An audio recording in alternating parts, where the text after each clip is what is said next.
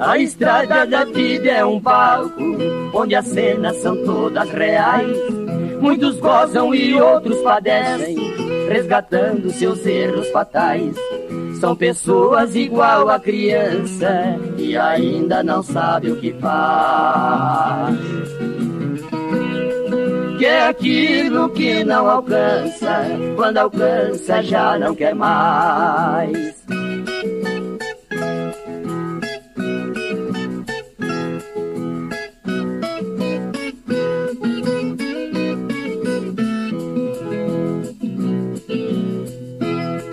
Vejam bem quanto homem que casa e ao lar ele nunca se apega.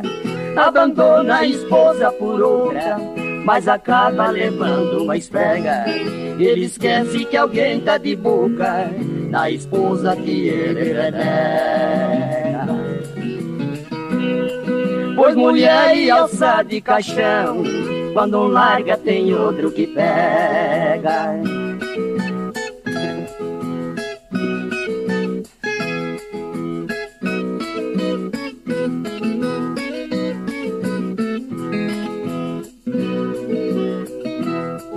Também tem a mulher sem juízo, que seu lar ela não considera. O amor, o respeito e a decência, isso tudo pra ela já era. Ela esquece que todo marido, quando ama, respeita e venera. A riqueza maior para ele é o carinho da mulher sincera.